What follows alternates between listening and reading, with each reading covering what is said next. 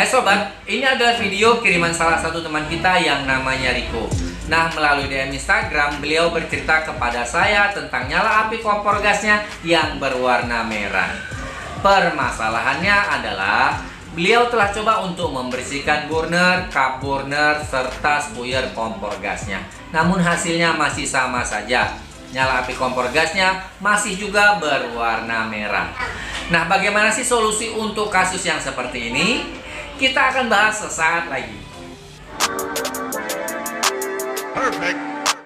Oke sob, memang benar ya untuk memperbaiki api kompor gas yang nyalanya merah Tahapan awal yang harus kita lakukan adalah membersihkan burner, kap burner, serta spuyernya Karena apa? Karena di situlah biasanya bertumpuk permasalahan karat ataupun kerak Nah, karat atau kerak inilah yang akhirnya ikut terbakar yang menyebabkan api kompor gas kita itu berubah menjadi merah.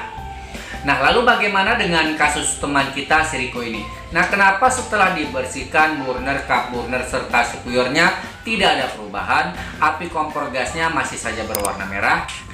Nah, ini semua disebabkan karena adanya permasalahan lain. Dan prediksi saya, begitu saya melihat video kiriman dari beliau, saya langsung bisa menebak bahwa ada kandungan air yang terdapat pada kompor gasnya. Nah, dari manakah saya bisa berprediksi tersebut? Semua kelihatan dari nyala api kompor gasnya. Loh mas, memang bisa kalau kita menentukan dari nyala api kompor gasnya Tentu saja masih bisa. Masih bisa kita menentukan apakah ini permasalahannya hanya sekedar karena karat atau dari permasalahan yang lain. Nah, akan saya jelaskan melalui gambar dan video berikut. Nah, dari gambar dan video ini kelihatan walaupun nyala api kompor ini merah masih kelihatan seperti slow ya nyalanya ya, masih terkesan lembut. Nah kalau diibaratkan ini tangan kita yang jadi burner kelihatan sekali bahwa penyebab warna merahnya itu berasal dari atas dari sesuatu yang ikutan sepertinya terbakar seperti kerak atau karat yang saya bilang tadi. Nah sekarang kalian bandingkan dengan gambar dan video yang satu ini. Nah dari sini jelas kelihatan perbedaannya. Walaupun sama-sama merah Tapi ini kelihatan sekali bahwa sumber api merahnya bukan berasal dari permukaan Tapi sepertinya ada sesuatu yang ikutan mengalir dari gas tersebut. Dan seperti yang saya bilang di prediksi saya tadi Yang ikutan mengalir tersebut adalah air. Nah dari manakah sumber air ini berasal? Saya langsung bisa tebak kalau sumber air tersebut berasal dari regulator. Nah langsung kepada dia, kepada si Riko tadi langsung saya memberikan solusi. Coba deh bersihkan secara keseluruhan bagian dalam regulatornya. Nah prediksi saya ada kandungan air yang terdapat di dalamnya. Nah langsung tidak beberapa lama Riko memberikan sebuah video berikut Nah, seperti bisa kalian lihat, nyala apinya langsung kembali berubah seperti semula, berwarna biru. Berarti tepat prediksi saya memang ada kandungan air di regulatornya. Nah, lalu muncul pertanyaan, Om, bagaimana sih cara yang benar untuk membersihkan keseluruhan regulator? Nah, kalau pertanyaan tersebut sebenarnya sudah ada jawabannya dan jawabannya ada di video saya yang muncul tulisannya di atas sini.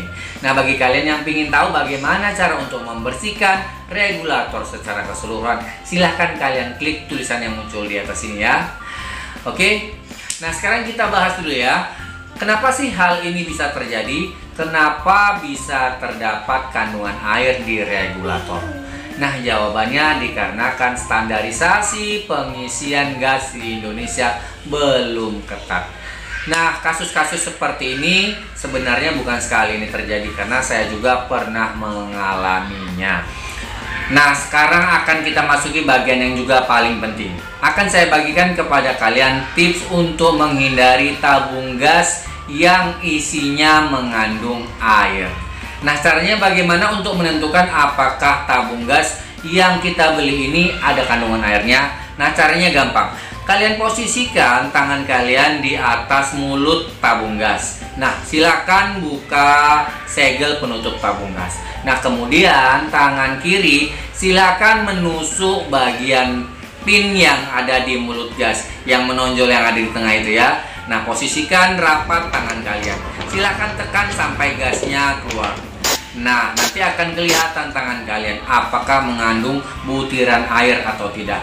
Jika tidak ada butiran air berarti gas tersebut aman.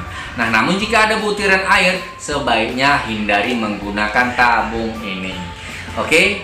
Nah mudah-mudahan video ini bisa bermanfaat bagi kita semua ya. Jumpa lagi di video berikutnya. Wassalam. Oh ya bagi kalian yang belum subscribe Jangan lupa pencet subscribe Karena saya akan terus memberikan video yang terbaik Yang berkaitan dengan review, tips, serta tutorial perbaikan kompor gas